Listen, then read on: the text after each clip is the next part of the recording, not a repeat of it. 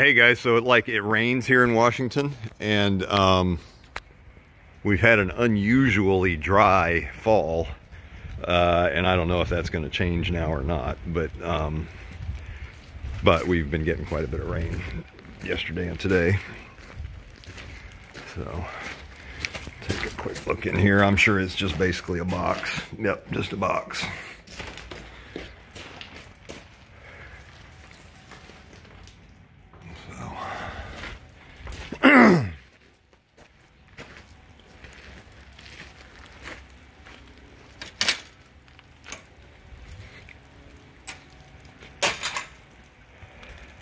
And so they make some stuff here called Moss Out, and it's a zinc-based product, and it you sprinkle it on your roof in the winter, um, and it uh, kills the moss, and then the rain kind of washes it away. I do it every three or four years. Um, it appears that they have done it on the roof of this house. Uh, they just didn't do the shed. So.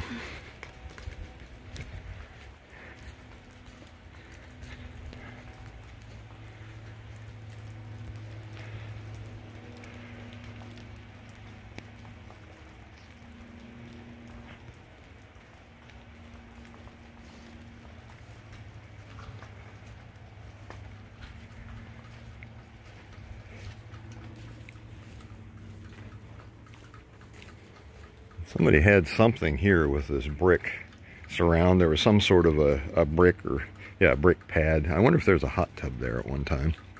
I kind of bet that's what that was. I think there used to be a hot tub there.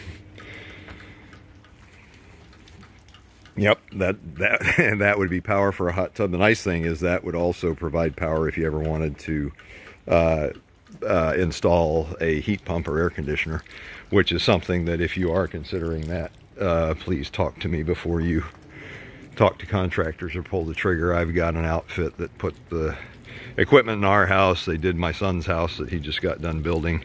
Um, and I've probably referred him to 25 or 30 of my clients over the last few years. So they will give you a, probably 20% uh, below the prevailing rates to do that. Um, so, and I suggest spending a summer here before you do anything. Um, and if you decide to do something, do a heat pump, not an air conditioner, because a heat pump will also produce AC for the couple weeks a year that you need it, or that you can use it. Um, and again, let's talk about that more if you want to do that. Awful, uh, probably 80% of the homes around here have no AC whatsoever, no, no window, no nothing. So, anyway. All right, well, I'm gonna head back in. The next video uh, should be the out briefing. He has his ladder out to go up in the attic, uh, and I'm pretty certain he's still gotta go in the attic and under the house, and, uh, and then we'll be done. So, um, and I'll get an out briefing with him at that point.